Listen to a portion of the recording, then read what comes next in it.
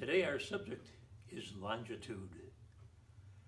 Since about the mid-1800s, when mathematicians developed the way of charting out every point on the face of planet Earth, mankind has lived with longitude and latitude.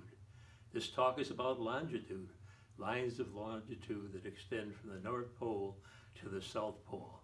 I think of the word long to describe the lines of longitude as the section marks appear on this orange from top to bottom.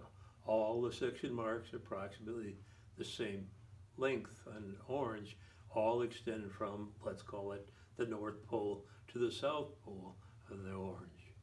By contrast, lines of latitude on a planet Earth are of different, different lengths. The longest at the equator, and they get shorter and shorter and shorter as you go to the north and south poles. I don't plan to talk about latitude anymore today. Uh, we'd like to do that in another session.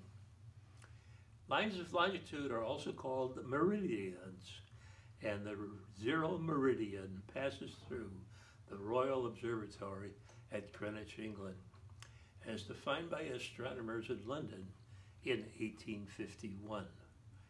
The zero meridian is called the prime meridian. From there, meridians start in both an easterly and westerly direction and divide the world, Earth into eastern and western hemispheres with 180 degrees west and 180 degrees east meridians. Just for fun, let's stop, step off the planet Earth and watch it rotate on its daily routine. As you know, this takes 24 hours. The planet Earth, essentially being a sphere, can be divided into 360 degrees around the equator. Let's use some simple math. The Earth rotates at 360 degrees over 24 hours or 15 degrees per hour. That number is key to finding your longitude. Let's travel the Earth a bit and see what the longitude values are.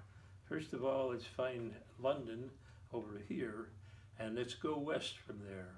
I find that Madrid, Spain is three degrees west longitude. Reykjavik, Iceland, halfway across the Atlantic, is 58 degrees west longitude. And Chicago is 87 degrees west longitude. Now let's go east. Berlin, Germany is at 25 degrees east longitude. Rome at the east end of the Mediterranean Sea is 27 degrees east longitude. And way over here, Beijing, China is at 116 degrees east longitude. How did a traveler in past days know what time it was locally? One method is to note when the sun is directly overhead. That's local noon. You know from the observation that it is 12 o'clock noon where you are. Imagine you could find yourself slightly west of Greenwich and with the sun directly overhead, your sun time is one hour later than Greenwich Mean Time. That means you're at the 15th west meridian because the Earth rotates 15 degrees per hour. Dublin, Ireland happens to be at that 15th meridian. As another scenario, imagine that you are Louis Joliet or Father Marquette paddling canoes in 1673 with the hope that the passage to China is just around the next bend in the river we obtained a copy of a map dated 1650 uh, from the New York Public Library, which shows that the concept of the central part of North America was very, very vague at that time. While it may seem strange, one of the key elements of determining your longitude is to know the time of day in Greenwich, England. A precision clock called a chronometer was typically carried by ship captains and navigators to keep informed as to the time of day in Greenwich, England.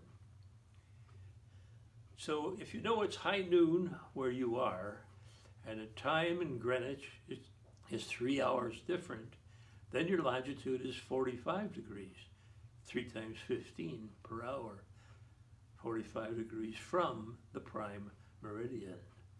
By the way, that there's no need to be moving. If you stay where you are and take a reading on another sunny day, you will obtain exactly the same reading. I hope this helped you understand how early explorers found their position on the planet.